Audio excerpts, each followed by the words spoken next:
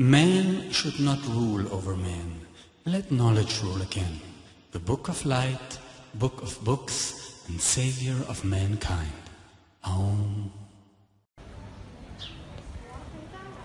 Herzlich willkommen, meine Lieben, in Valdemossa. Das ist das Kloster, in dem unser hochverehrter Mahatera Dr. Georg Grimm dem Nirvana entgegen meditierte.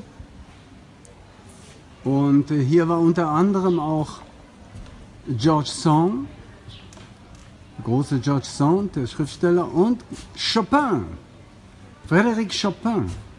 Ja? Hier hat der Mahatera meditiert. Eine kleine Kartause könnte man sagen. Da war es. Und daneben ist natürlich dann die große Kirche, die er sicherlich auch besucht hat. Unser hochverehrter Mahatera Dr. Georg Grimm. Ja, meine Lieben, dann bis bald. Tschüss. Om.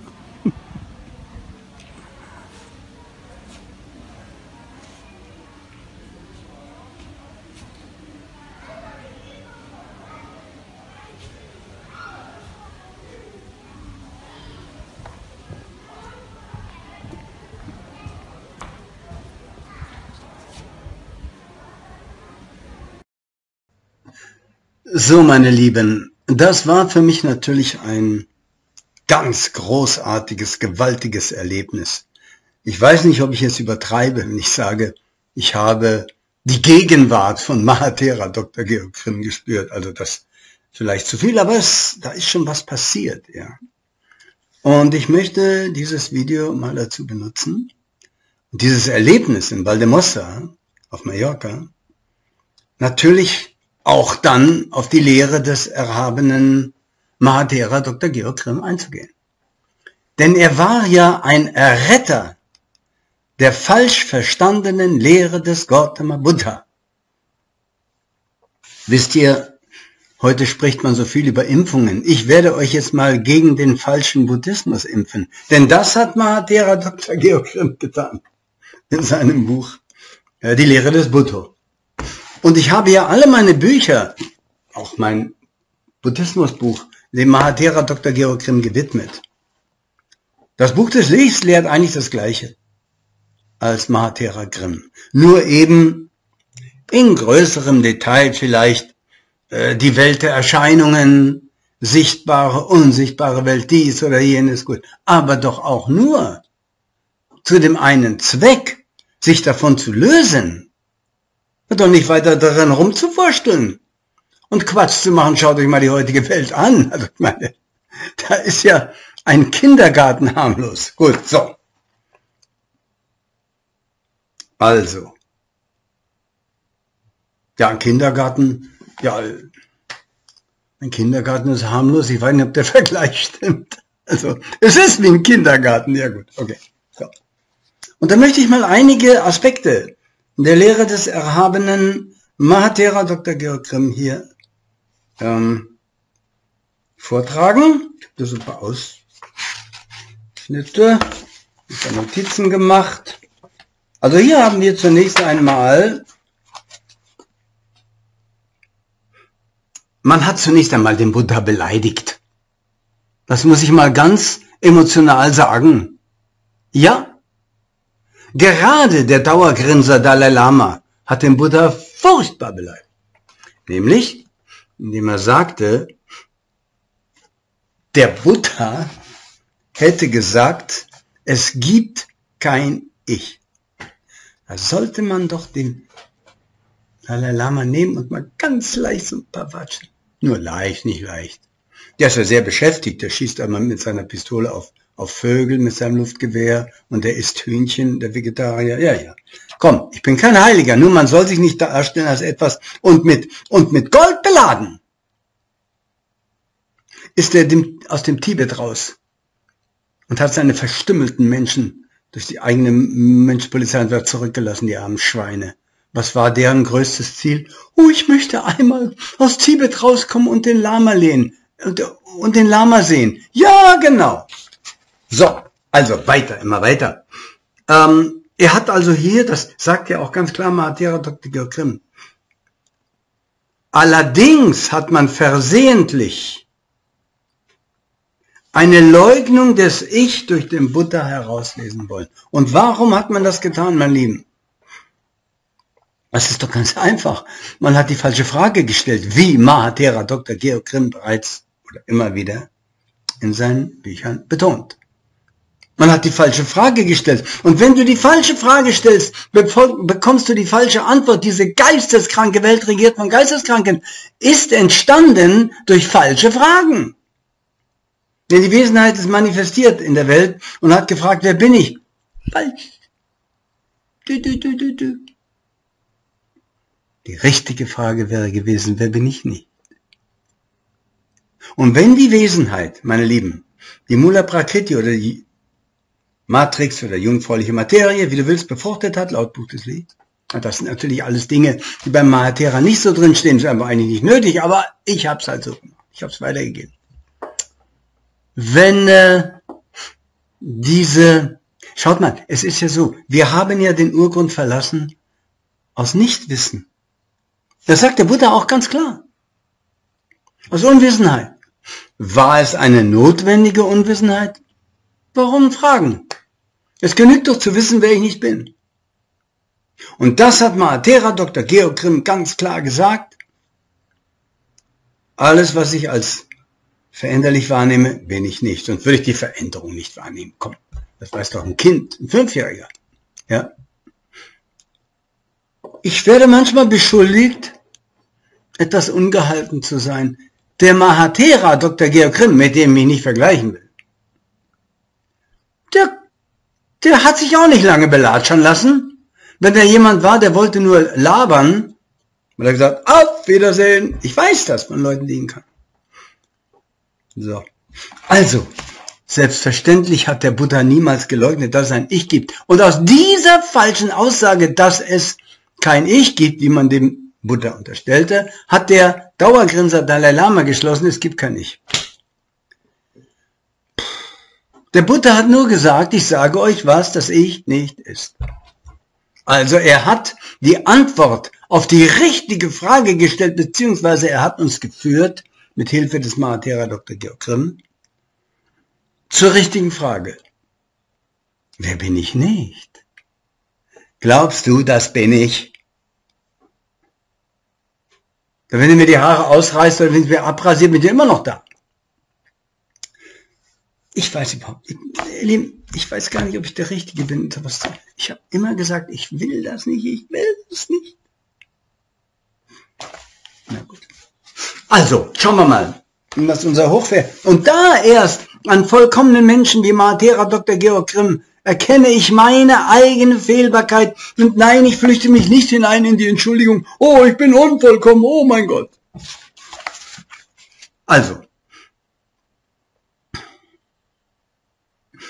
der, äh, da schreibt Mahatera Dr. Georg Grimm ganz klar, die fünf Gruppen sind nicht das Ich. Ja, was sind denn die fünf Gruppen, liebe Christen? Liebe Muslime, wacht endlich auf, Mensch. Was ihr als euren Geist versteht, das ist in Wirklichkeit nur noch die Hülle. Eine höchst feine, höchst äh, transparente. Aber es ist immer auch noch vergänglich, egal wie lange sie dauert. Und das hat Mahatera Dr. Georg Grimm ganz richtig gestellt. Die Lehre des Buddha. Buddha hat gesagt, frag nicht, wer bin ich. Frag, wer bin ich nicht. Und dann löse dich davon, wenn du willst. Oder bekomm mindestens eine Distanz. Also zum Beispiel hast einen Wutanfall. Ja, das hatte ich früher mal, heute nicht so sehr, oder? Dann weiß ich, das bin ich nicht. Aber ich habe mich mit diesem Körper eingelassen durch die Eltern, die ich bekommen habe, obwohl ich nicht das Produkt meiner Eltern bin. All diese Dinge, meine Lieben, die nicht so erklärt werden bei, bei Mahatera Grimm, weil das da nicht nötig war, die werden im Buch des Lichts erklärt. Du bist nicht das Produkt deiner Eltern, das kannst du gleich mal vergessen. Ja? Also schieb's nicht auf deine Eltern. Wie heißt sie, liebe Greta Thunfisch? Schieb's nicht auf deine Eltern, dass du behindert geboren, geboren wurdest.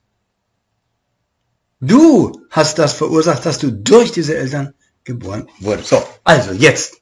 Naja, das hat immer zu tun mit Gegenwart, Zukunft, Vergangenheit. Also was habe ich hier noch geschrieben? Oder ich nicht, heute mal, Terra. Ähm, er schreibt ganz klar, man könnte eher aus der Behauptung, dass alles, was vergänglich und leidvoll ist, nicht das Ich sein kann, die Folgerung ziehen oder den Schluss, dass das Ich also unvergänglich ist und vom Leiden frei ist. Und dass jemand, der so argumentiert, das Vorhandensein einer solchen Seele voraussetzt. Ja? Meine Lieben, und, und, das ist, und das ist genauso das Problem. Viele fragen mich, ja, warum hat das denn nicht niedergeschrieben, der Buddha? So war das eben oral. Ich hoffe, Herr Spahn hört nicht zu und, und schließt seine falschen Schlüsse. Nein, nein, ich meine jetzt einfach nur, ja, Weitergeben der Lehre. Gut.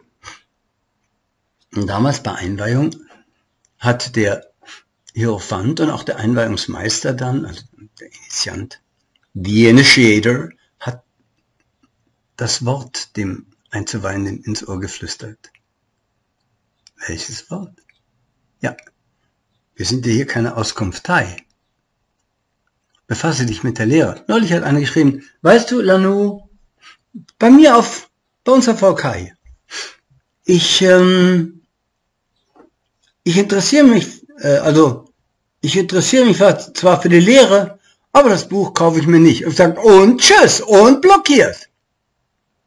Ich gebe mich nicht lange mit diesen möchtegern pseudo-esoterischen Leuten ab. Suchst du einen Unterhaltungskasper? Ja, geh doch woanders hin.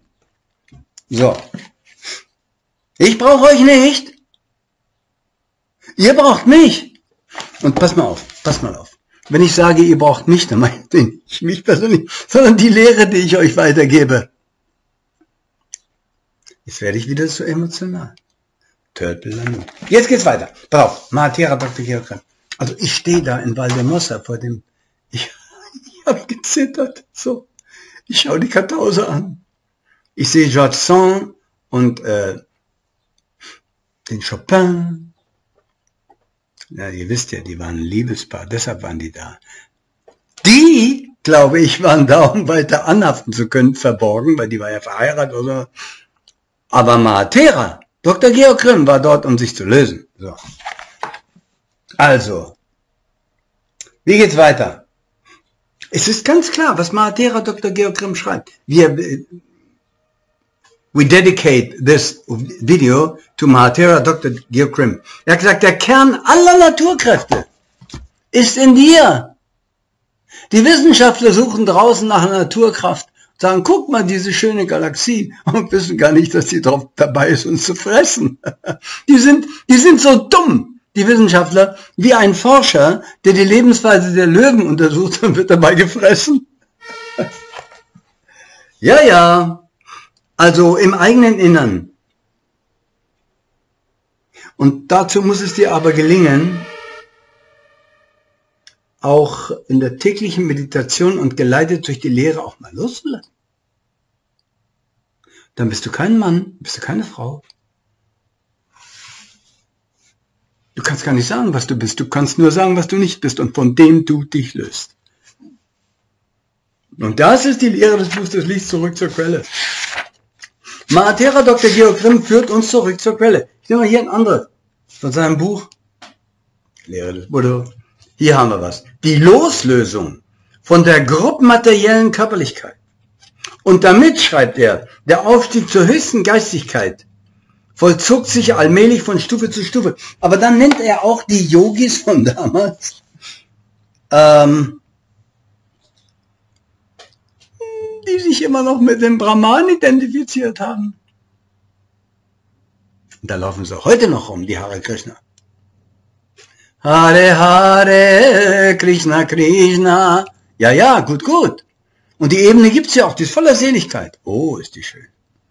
Aber wir vom Buch des Lichts sind knallhart, mein Lieben knallhart auch dem gegenüber, was wir nicht sind, von dem wir uns umgeben sehen, in dieser kranken Welt, regiert von Geisteskranken und so. Und jetzt sagen wir uns, was machen wir? Willst du die Welt verändern? Ja, bist du denn von Sinnen? Bist du denn von Sinn, junger Mann, junge Frau, junges Mädchen, älter Mann und so weiter? Ich will die Welt nicht verändern, ich will, dass sie verschwindet.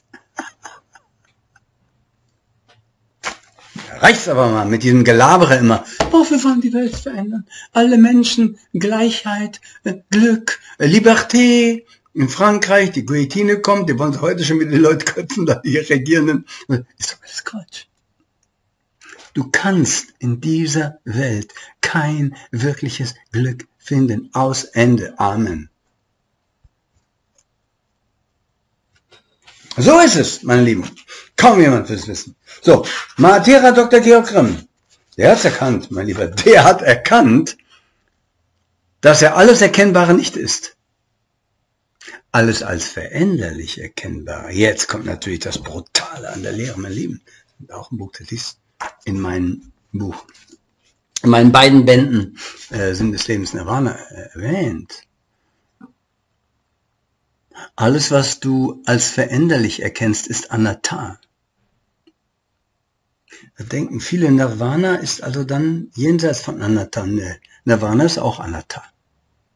Das ist der dir angemessene Zustand.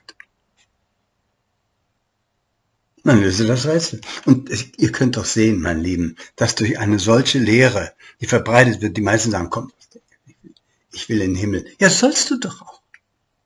Gerade das Buch des Lichts leitet dich in den Himmel. Gerade Mahatera Doktor gekommen. Pass auf. Wo ist Mahatera Dr. Georg jetzt? Was denkt ihr? Ist er in Nirvana? Ich sage nein. Ich sage nein. Seine letzten Worte waren, ich fühle mich so wohl wie nie. Das bedeutet, dass er möglicherweise in einem der allerhöchsten Himmeln, nachtodlichen Himmeln war und von dort aus Nirvana erlangte. Es gibt natürlich die Möglichkeit, dass man auf dem Weg zu Nirvana, Paranirvana dann und so weiter, wenn man den Körper verlässt, auch ein Wohlsein empfindet. Denn Nirvana wiederum, die Vorstufe, die höchste Vorstufe zu Nirvana ist der Himmel der Religionen, wo die sich alle die Schädel einschlagen. Um 72 Jungfrauen zu haben, ja, seid ihr denn mit dem Klammerbeutel gepudert? So, also, und auch dieser Himmel ist natürlich vergänglich, das versteht sich ja von selbst. Da würdet ihr mein Buch lesen, die wahre Bedeutung der Bibel, dann würdet ihr wissen, dass es äh, in der Bibel gibt es kein, gibt es nicht mal das Wort ewig. Weil die Menschen immer träumen von einem ewigen Leben im Himmel. Ja, schön ist es dort, aber nicht ewig. Ich will nur darauf Bezug nehmen. So, gut, jetzt weiter. Und was schreibt er noch? Matera Dr. Georg Er schreibt ganz klar in der Art der Überlieferung des Wunderdinges, also der Lehre des Buddha, dass das natürlich das Problem hatte, äh, mündlich weitergegeben. Und wie die, wie die Karawanen waren in den Wüsten, die Kamelkarawanen und so weiter, auch später, da waren die Mönche auch. Und die haben dann weitergegeben, was sie gehört haben. Aber war es das auch wirklich? Oder haben sie was dazu gesagt? Haben sie was dazu gegeben? Haben sie wie im Koran missverständlich das Wort Huri und so weiter bedeutet eigentlich äh, hohe Seelenwesen, haben sie das ver verwechselt mit, mit, mit äh, äh, Jungfrauen, deren Vagina sich, äh, deren Jungfrauenhaut durchstoßen wird nach dem Sex im Himmel und nach dem Sex schließt sie sich wieder und sagt, ja, seid ihr denn völlig bekloppt? So, also, jetzt pass auf. Denn äh, das wird also ganz toll geschildert in dem Buch von Mahatera Dr. Grimm.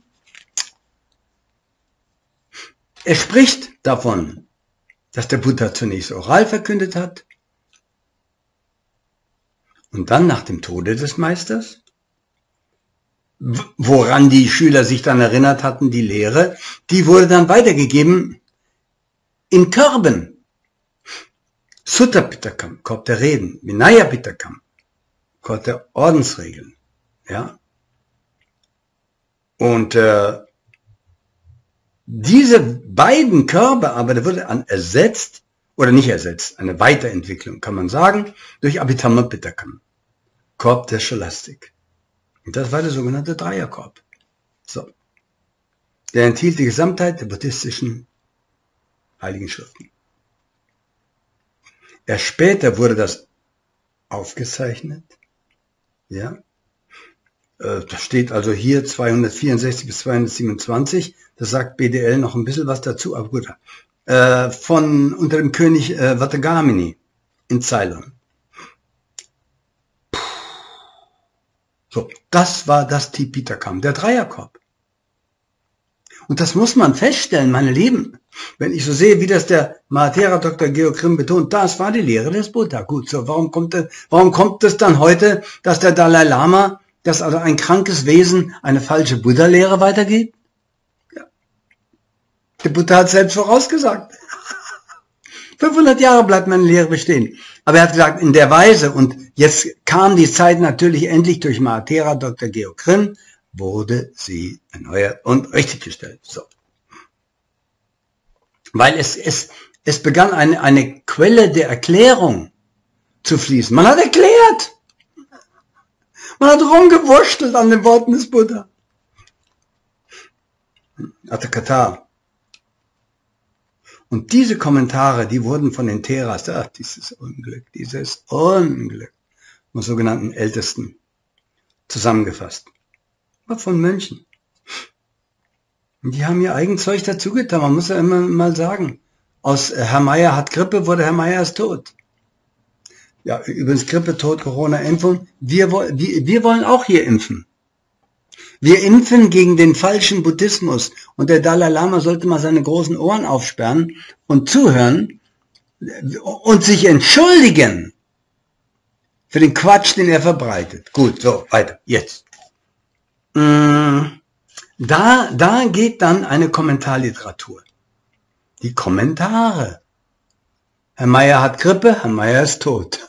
Aus Herr Meier hat Grippe wurde Herr Meier ist tot, obwohl der immer noch rumläuft. Und die waren von äh, Mönchen, wie gesagt. Und das war der Mönch Mahindo, der hat das ja auch äh, zu seinem Vater äh, Asoko nach äh, Ceylon gebracht. Und dort wurde es wieder übersetzt. Ja. Uh, again, victim of interpretation. So.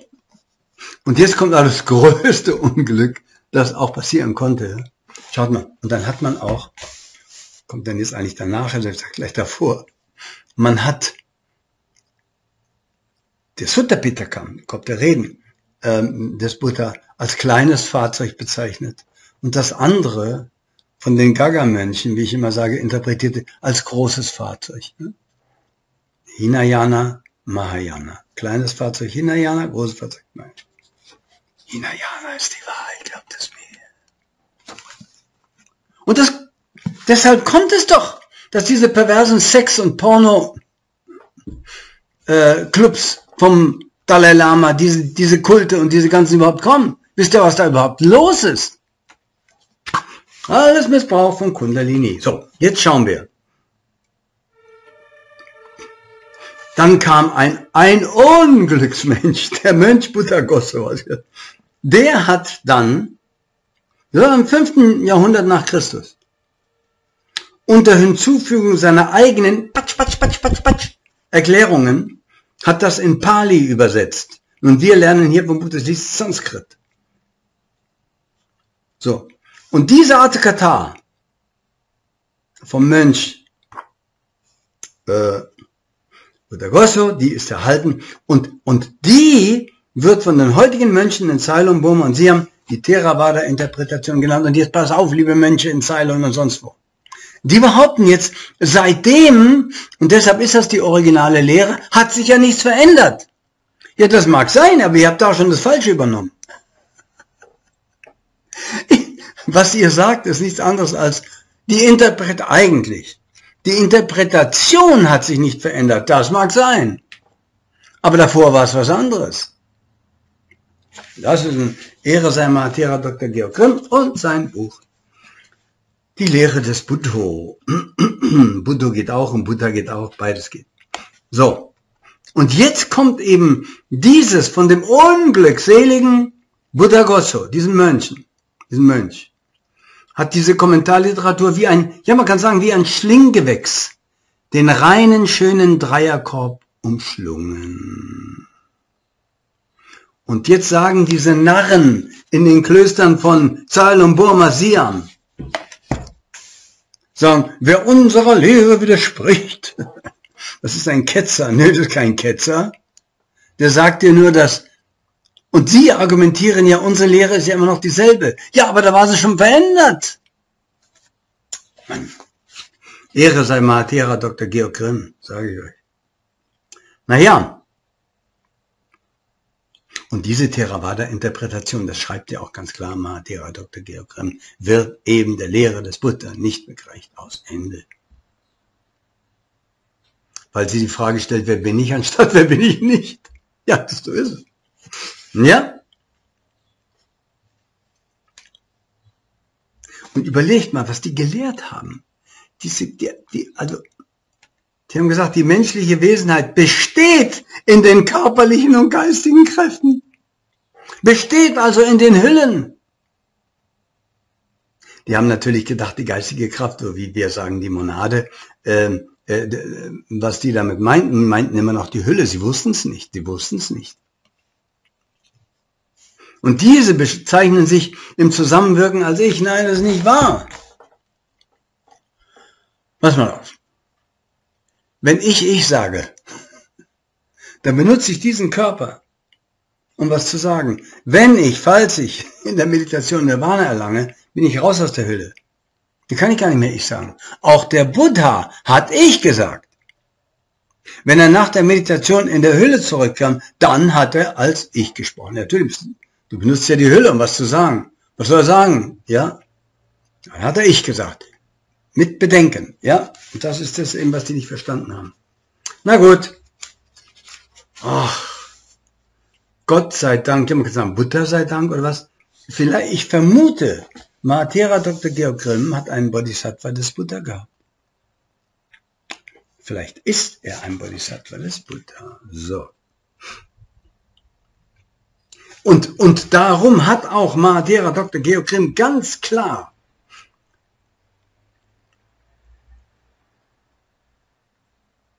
die, muss man vorsichtig ausdrücken, die Kommentarliteratur fast kaum beachtet. Nur Sutta Pittakam, wie ich schon zu Beginn sagte. Gott der Lehrreden. Ja? Und der Mensch Purana wird hier zitiert, wie man sagt nach dem Tod des Buddha. Komm, wir wollen die Werke des Buddha interpretieren, das brauche ich nicht. Ich hab's noch im Kopf. Ich hab's noch im Kopf. Ja? Oh, ihr Buddhisten, ihr Dalai Lama Buddhisten, ihr Narren, Wacht doch endlich auf aus eurem Pornoclub. So, weiter. Was haben wir hier noch? Ach, da steht so viel. Und er betont immer wieder, Mahatera Dr. Georg Grimm, dass diese Welt laut buddhistischer Lehre eine Welt des Leidens ist. Ja, was denn sonst? Ja, neulich habe ich gesessen, habe gesprochen, da hat mir plötzlich mein Herz ganz wehgetan. So. ja? Das ist auch der schönste Augenblick. Wenn du dich mit ihm identifizierst, wird dich leiden lassen. Und da hat Mahatera Dr. Georg Grimm auch zu seiner Frau ganz klar gesagt, ich weiß das. Er hat gesagt, ich löse mich auch von dir, meine liebe Frau. Ich überwinde, und das war schwer für ihn, auch die sexuelle äh, Komponente zu überwinden. Das weiß ich in Amerika von Reportern, die mit ihm gesprochen haben, beziehungsweise deren Väter und so. Hm? Aber er hat gesagt, ich löse mich dann von allen. Wer weiß, wann wir uns wiedersehen in einem anderen Leben? Du als Frau, ich als Mann, ich als dies und das. Nein. Ich will nicht mehr zurückkommen, hat Mahatera Dr. Georg Grimm gesagt. Und er hat entsprechend gehandelt. Er war kein Pseudo-Guru. Also wenn ich überhaupt sage, einen wirklichen Guru, dann würde ich sagen, Mahatera Dr. Georg Grimm. Ich liebe euch. Und das bedarf natürlich einer Korrektur, meine Lieben. Ich habe gesagt, der Schriftsteller George Sand, das wollte wohl dieser Mensch, dass man als Mann das identifiziert, aber natürlich in Wirklichkeit war George Sand eine Frau, nicht wahr? Das, das war die, ähm, die Amontine Aurora Lucille Dupin de Franqueuil. ja. Also das war eine Frau. Es war eine französische Schriftstellerin. Und die war aber sehr, muss sagen, sozialkritisch, ja. Sie hat immer rebelliert gegen die, äh, die Beschränkungen, die man den Frauen auferlegt im 19. Jahrhundert. War vielleicht die erste Feministin, wenn wir mal die Amazonen von früher ausnehmen, die sich die Reste, rechte Brust haben abschneiden lassen, damit sie besser mit dem Bogen schießen können. Aber so. Und die hat gesagt, ähm, dass die Ehe, dass man den Frauen die Ehe als eine Institution auferlegt hat. Und die hat äh, gefordert die gleichberechtigte Teilhabe aller Klassen an gesellschaftlichen Gütern. Ja? George Sand hat sich dann genannt. Ja, dachten auch viele, es ist ein Mann, habe ich auch gedacht, aber äh, dann und ähm, der Friedrich Nietzsche, der Nietzsche hat sie genannt eine Milchkuh mit schönem Stil. Und der, ja, der, äh, ein, ein, ein anderer bekannter Schriftsteller, weiß nicht mehr, wer es war, der hat sie benannt, die Stimme der Frau in einer Zeit, als Frauen schwiegen. Oh, oh, oh. Aber was haben wir jetzt noch entdeckt? Oh je, da haben wir was rausgefunden. Ihr wisst, nicht nur George Sand, sondern auch Chopin hat in diesem Kloster meditiert. Sie war seine Geliebte. Jetzt haben wir sie erwischt, die beiden. Die haben wir erwischt. Matera Dr. Georg Grimm war nur da, um zu meditieren. Ja, um sich zu lösen. Die haben vielleicht, ich, bitte, ich, ich, ich vermute es, damit sie ungestört dort im Kloster sich treffen konnten. Ja? Und Chopin, also der, der ja, äh, sagen wir mal, Mitte des 18., des 19. Jahrhunderts zum ersten Mal diese Frau äh, traf oder von ihr gehört hat, die hat ihm überhaupt nicht gefallen. Ich habe hier einen Brief von ihm, einen, einen, einen Auszug seinen Eltern, an seine Eltern. Ich habe eine große Berühmtheit kennengelernt. Madame Dudevant, bekannt unter dem Namen George Sand. Ihr Gesicht ist mir nicht sympathisch, sagt er. Und eigentlich hat sie mir überhaupt nicht gefallen. Es ist an ihr sogar etwas, schreibt er, was mich abstößt. Hm. Man hat auch äh, den Chopin mal über sie sagen hören, was für eine unsympathische Frau, so eine Nase und so. Ist das wirklich? Und, äh, dann hat er gefragt, ist denn das wirklich eine Frau? Manche sagen, sie war ein Mannweib. Alles da in diesem Kloster. Das ist mir, das habe ich dadurch erst wieder. Aber die George Sand, ja, die Dupin oder wie man sie nennen will, ist von Chopin sofort begeistert. Und sie hat ihn mal eingeladen ja, wollen wir uns nicht treffen und so weiter. Und dann hat sie, so die Historie, sich entschlossen, ihn zu erobern. Und äh, was die sich mal vorgesetzt hat, das hat sie auch, oder vorgenommen hat, das hat sie durchgesetzt, kann ich sagen. Ja. Und äh, da hat sie äh, ihm ein kleines Zettelchen geschickt, sagt man. Ja, man bewundert sie, George. Hat nicht gesagt, dass sie ihn bewundert. nicht? Also, das ist ganz interessant. Ähm, hat sie dann, also die, die, die wurde ja als, als Dupin geboren, die Dame. Und äh, hatte auch einen Sohn und so weiter. Und gleich nach der Geburt hat sie einen anderen Mann gehabt. Und die Ehe mit Dudevant, die ist zerbrochen. Und die wurde dann Schriftstellerin. 35 Romane geschrieben, George Sand, ja gut. Als sie den Chopin kennenlernte, mit dem sie sich dann in Valdemossa getroffen hat, in dem Kloster, in dem unser hochverehrter Mahatera Dr. Georg Grimm aus ganz anderen Gründen war, nämlich um sich zu lösen zu meditieren, Nirvana zu erlangen.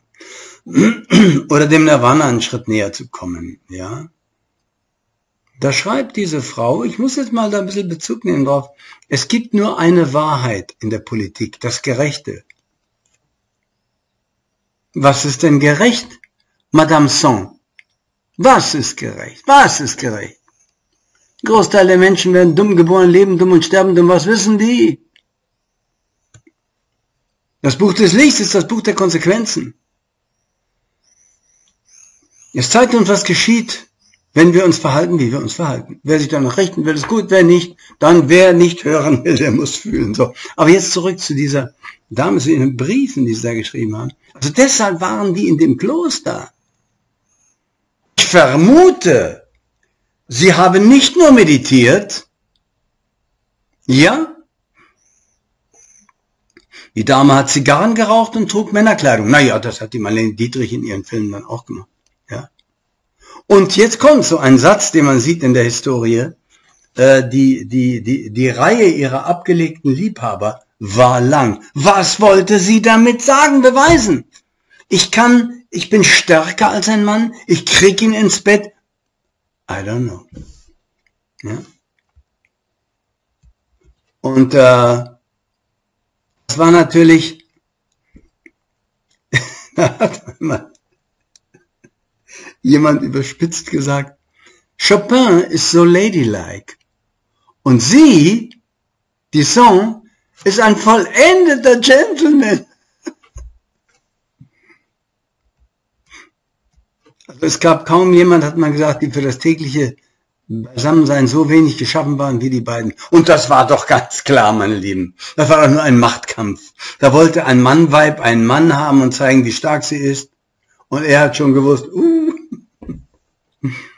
ja. Und dann sind sie in 1938, 1838, 1838 ist sie mit Chopin nach Mallorca gereist. Und da war sie in dem Kloster.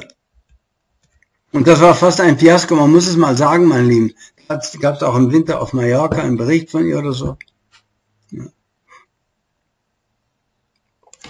Chopin, Chopin war bescheiden, zurückhaltend. Ihr seht ja da auf dem Schild Georges Sand und äh, Chopin. Ja. Naja, also das, das war ja ganz klar. Die, ähm, und dann gab es natürlich, ich muss jetzt mal so weit ausholen, auch dann Spannungen zwischen den beiden zehn Jahre später oder so. Eifersucht. Ja. Und äh, ging es um die Kinder von äh, Josh Sand. Ja, und da kamen dann so die kleinen Nickeleien, ja.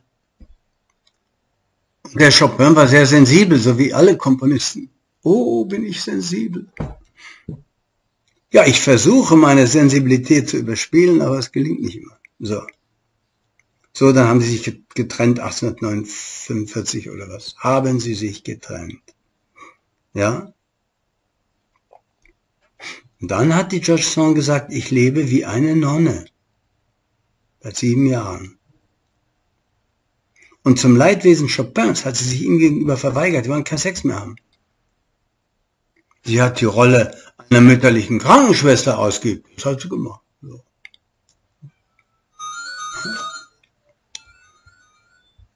so, meine Lieben, Augenblick, da bimmelt es. So, wo, wo bin ich stehen geblieben? Ah ja, also die, äh, die Sand ist natürlich eine Frau, kein Schriftsteller äh, kein Schriftsteller, sondern eine Schriftstellerin, obwohl heute mit dem ganzen Gender, man weiß ja gar nicht mehr, was man sagen soll, ja. Aber so war es, und da hat man wieder etwas dazugelernt, als ich dieses Schild sah. Georges Sand, Chopin, ja. Meiner Ansicht nach hätte eigentlich nur ein einziger, der sie natürlich beide übertroffen hat, dieses Schild verdient. Und das ist Matera, Dr. Georg Grimm. Aber meine Lieben, so ist es nun mal. Bis zum nächsten Mal um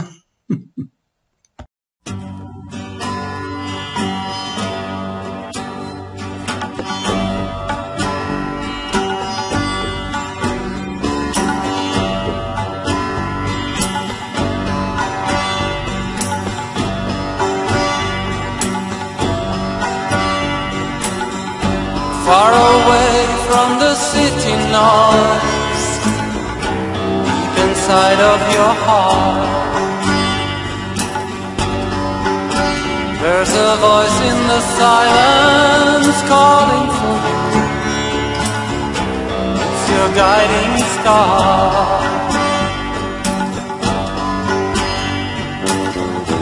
Just listen, just listen, and you will see.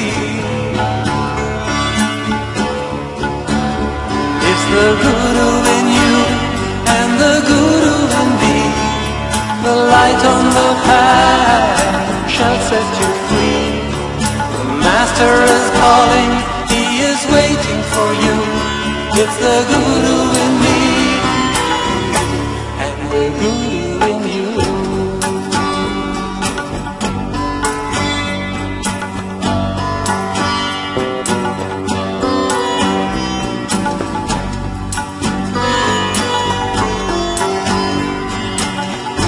Life is just like a blink of an eye in eternity.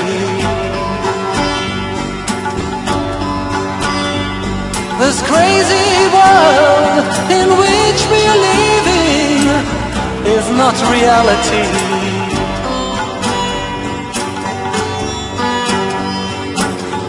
Keep searching, keep searching, and you will find Guru in you and the Guru in me.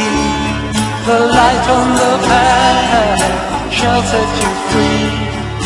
Master is calling, he is waiting for you. It's the Guru